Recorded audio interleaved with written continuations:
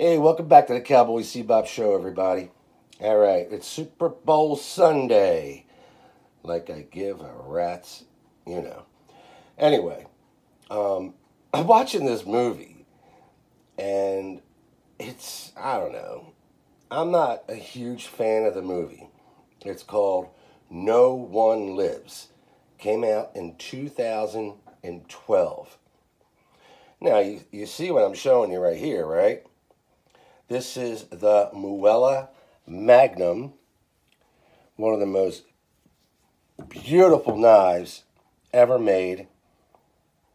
Was featured in 2006 Seraphim Falls. All right?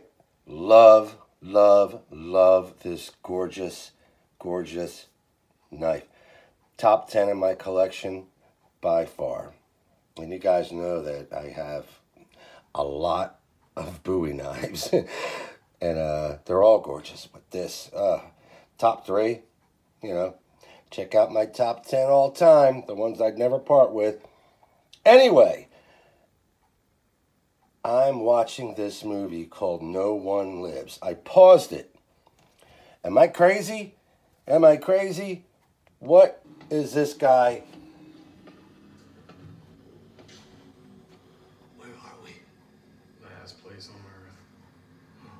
What is he using? Comedian. This funny to you? Whoa, pause that. I see the medallion. I see the stag handle. It's pretty graphic, so we're not going to show you the whole thing.